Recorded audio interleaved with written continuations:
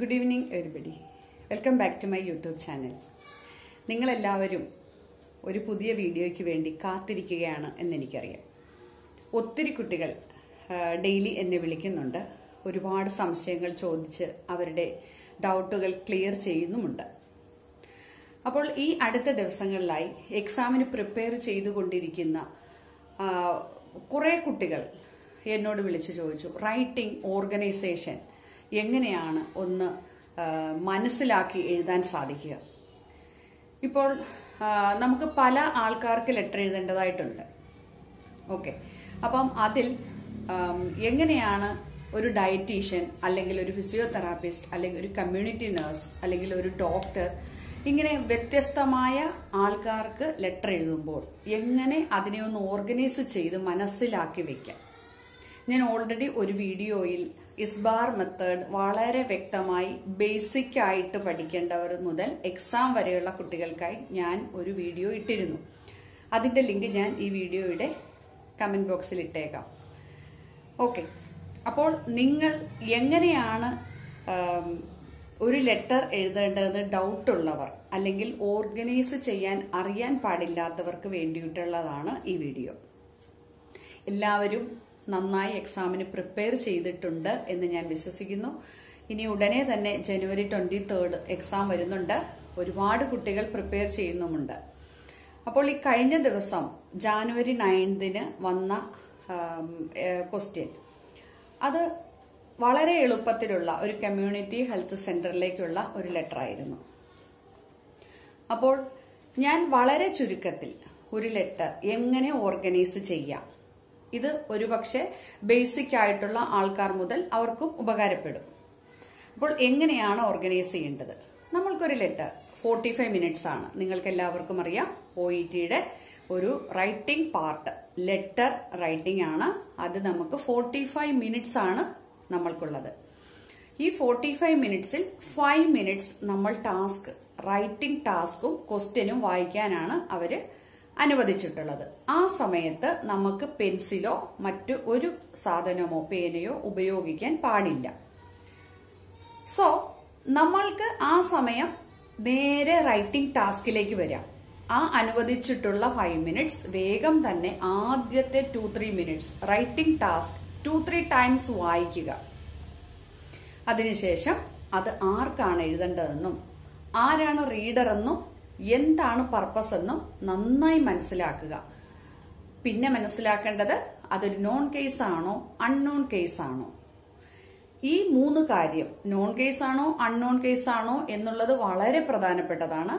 അതുകൂടാതെ റീഡർ ആരാണ്? ഒരുപക്ഷെ ഡയറ്റീഷ്യൻ ആവാം ഒരുപക്ഷെ പീഡിയാട്രിഷ് ഫിസിയോതെറാപ്പിസ്റ്റ് ആവാം ഒരുപക്ഷെ കമ്മ്യൂണിറ്റി ഹെൽത്ത് സെന്ററിലെ നഴ്സ് ആവാം അല്ലെങ്കിൽ ജനറൽ ഫിസിഷ്യൻ ജി പി ആവാം. ആരുമായിക്കൊള്ളട്ടെ? അത് നമ്മൾ മനസ്സിലാക്കുക. പിന്നെ നമ്മൾ മനസ്സിലാക്കേണ്ട ഒരു കാര്യം പർപ്പസ് എന്താണ്? എന്തിനാണ് നമ്മൾ ഈ ലെറ്റർ എഴുതുന്നത്?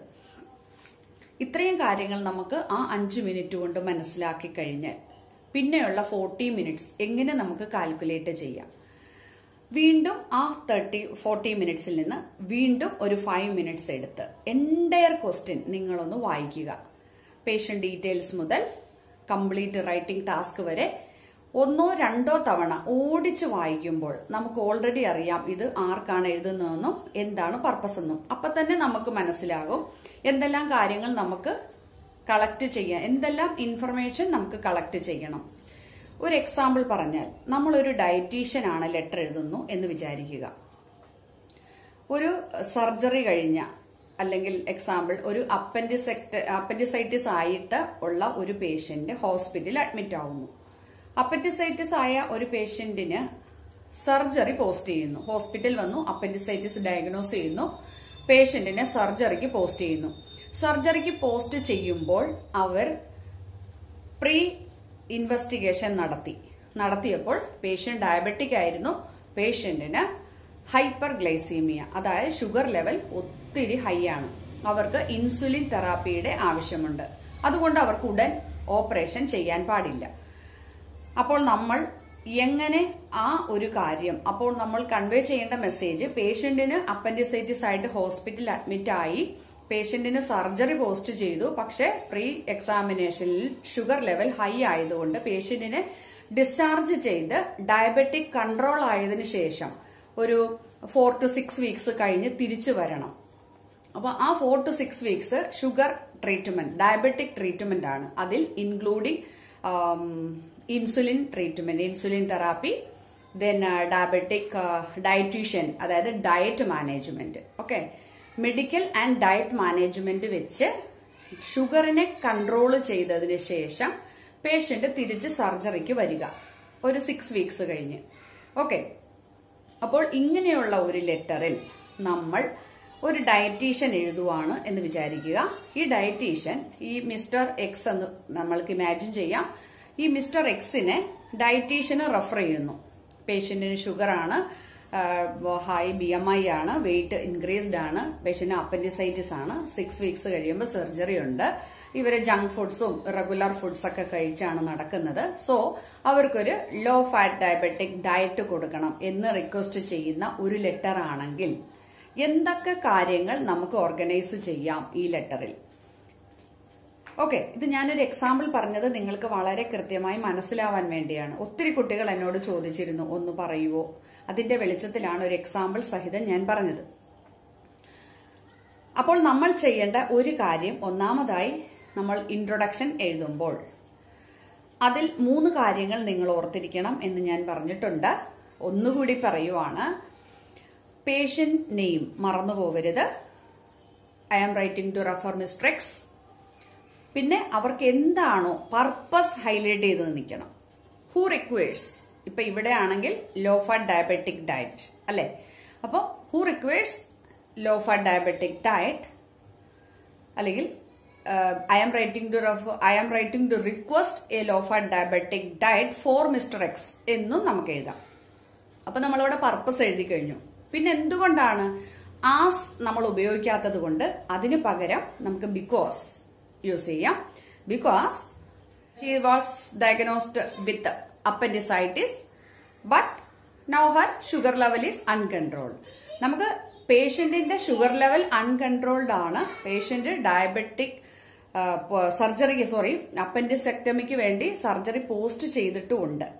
അപ്പൊ ഈ രണ്ട് കാര്യം നമുക്കവിടെ ഹൈലൈറ്റ് ചെയ്യണം. അപ്പം അതിന്റെ ഇൻട്രൊഡക്ഷൻ എങ്ങനെ എഴുതാം എന്നാണ് നമുക്ക് നോക്കേണ്ടത്. പർപ്പസ് ഹൈലൈറ്റ് ചെയ്ത് വേണം എപ്പോഴും ഇൻട്രൊഡക്ഷൻ എഴുതാൻ. അപ്പൊ നമുക്ക് നമുക്ക് എഴുതാം. The purpose of this letter is to request a low fat diabetic diet for Mister X who has uncontrolled diabetic and has significantly high B M I of എത്രയാണോ? ഇപ്പം twenty nine thirty thirty three എത്രയാണോ അത്രയും നമ്മൾ എഴുതുക. പിന്നെ നമ്മൾ എഴുതണം. She was diagnosed with appendicitis and is scheduled for interval appendectomy after six weeks ഇത്രയും കാര്യങ്ങൾ നമ്മൾ ആ ഇൻട്രൊഡക്ഷനിൽ നമ്മൾ എഴുതണം. ഓക്കെ അപ്പൊ ഡയറ്റീഷ്യന് മനസ്സിലായി. പേഷ്യന്റ് ഡയബറ്റിക് ആണ്. അൺകൺട്രോൾഡ് ഡയബറ്റിക് ആണ്. പിന്നെ പേഷ്യന്റിന്റെ ബി എം ഐ ഹൈ ആണ് പേഷ്യന്റിന് ലോഫ ഡയബറ്റിക് ഡയറ്റ് വേണം. കൺട്രോൾ ചെയ്യാൻ കാരണം പേഷ്യന്റ് ആഫ്റ്റർ സിക്സ് വീക്സ് കഴിഞ്ഞ് അപ്പൻഡക്ടമി പോസ്റ്റ് ചെയ്തിട്ടുണ്ട്. ഇതാണ് നമ്മൾ ആ ഇൻട്രൊഡക്ഷനിൽ കറക്റ്റായിട്ട് എഴുതേണ്ടത്. ക്ലിയർ ആയോ? പിന്നെ നമ്മൾ മനസ്സിലാക്കേണ്ട സെക്കൻഡ് പാരഗ്രാഫ് എന്താണ്? Patient was admitted due to the complaints of so and so patient എന്തിനാ നമ്മുടെ അടുത്ത് വന്ന? Mister X was admitted with with complaints of so and so ആ പാരഗ്രാഫിൽ പേഷ്യന്റ് വന്ന കാര്യം തൊട്ട് പേഷ്യന്റ് നമ്മൾ എന്ത് കൺസർവേറ്റീവ് മാനേജ്മെന്റ് കൊടുത്തു ആ കാര്യങ്ങൾ ജസ്റ്റ് ഒന്ന് മെൻഷൻ ചെയ്യുക. പിന്നെ പേഷ്യന്റിന് നമ്മൾ നേഴ്സിനെ കൊണ്ട് ഒരു ഇൻസുലിൻ ട്രീറ്റ്മെന്റ് ഹോം വിസിറ്റ് നടത്താനുണ്ടെങ്കിൽ അത് എന്തൊക്കെ അഡ്വൈസ് ആണോ ആ കാര്യങ്ങളെല്ലാം ജസ്റ്റ് ഒന്ന് മെൻഷൻ ചെയ്യുന്നു. ഹോസ്പിറ്റലിൽ ഡയറ്റീഷ്യൻ കണ്ടിട്ടുണ്ടോ? ഡ്യൂറിംഗ് വിസിറ്റിൽ ഡ്യൂറിംഗ് ഹോസ്പിറ്റലൈസേഷൻ ഡയറ്റീഷ്യൻ റിവ്യൂഡ് ആ കാര്യങ്ങൾ മെൻഷൻ ചെയ്യുന്നു. അത് കഴിഞ്ഞിട്ടുള്ള പാരഗ്രാഫിൽ റിക്വസ്റ്റ് പാരഗ്രാഫ് വേണമെങ്കിൽ നമുക്ക് സോഷ്യൽ ഹിസ്റ്ററി പാസ്റ്റ് ഹിസ്റ്ററി ഒരു ചെറിയ നോട്ടായിട്ട് അവിടെ കൊടുക്കാം. നമ്മുടെ പ്രസന്റ് കണ്ടീഷൻ പ്രസന്റ് സ്റ്റാറ്റസിന് ശേഷം സോഷ്യൽ ആൻഡ് പാസ്റ്റ് ഹിസ്റ്ററി നമുക്കൊന്ന് മെൻഷൻ ചെയ്യാം. അപ്പൊ പേഷ്യന്റ് ജങ്ക് ഫുഡ് കഴിക്കുന്ന കാര്യം അവിടെയാണ് നമ്മൾ സൂചിപ്പിക്കേണ്ടത്. അത് കഴിഞ്ഞ റിക്വസ്റ്റ് പാരഗ്രാഫ് ഇപ്പൊ സാധാരണ it would be highly appreciated otherwise you can write your care and expertise management would be beneficial for Mister X if you could provide അല്ലെ if you could send a low fat diabetic diet to her home address നമുക്ക് അങ്ങനെയും conclude ചെയ്യാം. Okay അപ്പം ഇങ്ങനെയാണ് നമ്മളൊരു organisation plan ചെയ്യേണ്ടത്. നമ്മൾ ആരാണോ റീഡർ അവരെ ബേസ് ചെയ്തായിരിക്കും ലെറ്റർ ഓർഗനൈസ് ചെയ്യേണ്ടത്. അല്ലാതെ ഒരു കോമൺ ഫോർമാറ്റ് ഒന്നും ഒ ഇ ടി റൈറ്റിംഗിന് ഇല്ല. നമുക്ക് എപ്പോഴും മനസ്സിലാക്കേണ്ട ഒരു കാര്യം ഓർഗനൈസേഷൻ ഡിപ്പെൻസ് റീഡർ റീഡറിനെ അപേക്ഷിച്ചും. നോൺ കേസ് ആണോ അൺനോൺ കേസ് ആണോ അതിനെ ആശ്രയിച്ചുമായിരിക്കും. മനസ്സിലായോ? അപ്പോൾ നമുക്ക് വളരെ പെട്ടെന്ന് മനസ്സിലാകുന്ന രീതിയിൽ വളരെ സിമ്പിൾ സെന്റൻസ് ഉപയോഗിച്ച് വേണം എഴുതാൻ. പിന്നെ ഒരു ലെറ്റർ എഴുതുമ്പോൾ അതിൽ സിമ്പിൾ സെന്റൻസും കോമ്പൗണ്ട് സെന്റൻസും കോംപ്ലക്സ് സെന്റൻസുകളും ഉൾപ്പെടുത്താൻ ശ്രമിക്കണം. ഞാനത് സാധാരണയായി എഴുതിക്കുമ്പോൾ കുട്ടികളോട് പറയാറുണ്ട്. അതുകൊണ്ടാണ് എല്ലാ കുട്ടികൾക്കും റൈറ്റിംഗ് ബി സ്കോർ തന്നെ കിട്ടുന്നതും. ഇത്രയും കാര്യങ്ങൾ നിങ്ങൾ ശ്രദ്ധിച്ചാൽ നിങ്ങൾക്ക് ഒ ടി ലെറ്റർ വളരെ എളുപ്പത്തിൽ ഓർഗനൈസ് ചെയ്ത് എഴുതുവാൻ സാധിക്കും. അപ്പോൾ എല്ലാവർക്കും മനസ്സിലായി എന്ന് വിശ്വസിക്കുന്നു. നിങ്ങൾക്ക് എന്തെങ്കിലും സംശയമുണ്ടെങ്കിൽ ആ ഇസ്ബാർ എന്ന വീഡിയോ ഒരിക്കൽ കൂടി നിങ്ങൾ കാണാൻ മറക്കരുത്. അത് വളരെ ഹെൽപ്ഫുള്ളാണ് ബേസിക് ആയിട്ടുള്ള എല്ലാ കാര്യങ്ങളും അതിൽ പറഞ്ഞിട്ടുള്ളത് കൊണ്ടാണ് ഞാനിത് വളരെ ചുരുക്കി ഓർഗനൈസേഷൻ മാത്രമായി എടുത്തു പറഞ്ഞിട്ടുള്ളത്. ഒത്തിരി കുട്ടികൾ എന്നോട് ആവശ്യപ്പെട്ടതനുസരിച്ചാണ് ഞാൻ ഓർഗനൈസേഷൻ ഒരു എക്സാമ്പിൾ സഹിതം നിങ്ങളുടെ മുൻപിൽ അവതരിപ്പിച്ചത്. അപ്പോൾ വളരെ സിമ്പിളാണ് എസ് ബാർ കണ്ടതിന് ശേഷം ഇതും കൂടെ കാണുകയാണെങ്കിൽ നിങ്ങൾക്ക് വളരെ എളുപ്പത്തിൽ ഒരു ബി സ്കോർ ലെറ്റർ എഴുതി ബി സ്കോർ നേടാൻ പറ്റും. അപ്പോൾ എല്ലാവരും എക്സാമിന് പ്രിപ്പയർ ചെയ്യുന്ന എല്ലാ കുട്ടികളും ഈ ഞാൻ പറഞ്ഞ രീതിയിൽ ഒ ഇ ടി ലെറ്റർ എഴുതുവാണെങ്കിൽ നിങ്ങളുടെ ലക്ഷ്യസ്ഥാനത്ത് നിങ്ങൾക്ക് എത്തിച്ചേരുവാൻ സാധിക്കും. അപ്പോൾ ഉടനെ തന്നെ ഞാൻ അടുത്ത വീഡിയോയുമായി വീണ്ടും വരുന്നതാണ്. If you have any queries you can contact in my WhatsApp number till then good bye